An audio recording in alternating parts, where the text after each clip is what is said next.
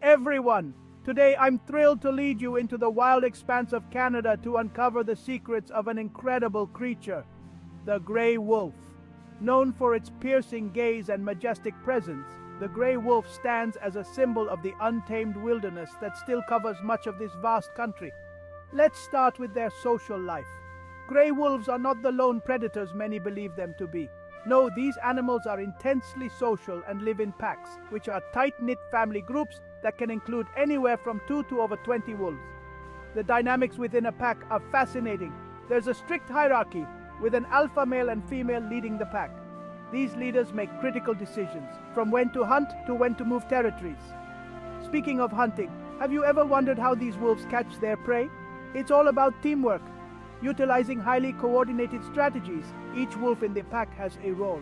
Some are lead chasers, while others flank the prey, and yet some are ready to ambush.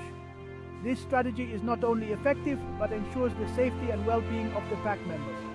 But life isn't always easy for the grey wolf. They face numerous challenges, from habitat loss and human encroachment to direct persecution. These issues not only threaten their survival, but also disrupt the ecological balance that these predators help maintain. Despite these hurdles, grey wolves have shown incredible resilience. Conservation efforts are ongoing to protect these majestic creatures and the landscapes they roam. By understanding and respecting the grey wolf, we contribute to a healthier, more diverse ecosystem. So next time you hear the haunting howl of a wolf echoing through the forests, remember, there's a complex, intelligent creature behind that sound, playing a crucial role in the wilderness. Thanks for joining me on this wild adventure.